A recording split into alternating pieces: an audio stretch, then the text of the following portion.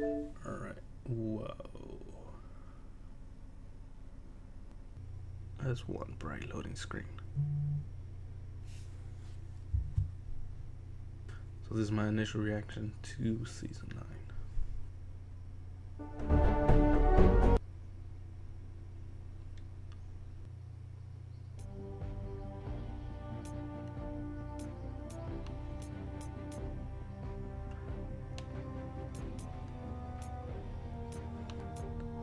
Nice.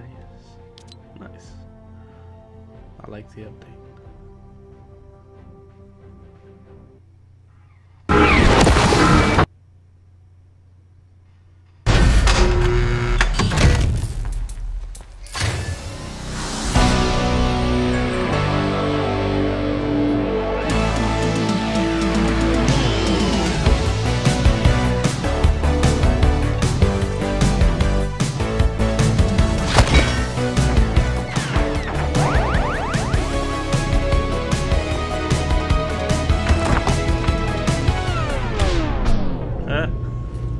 Huh?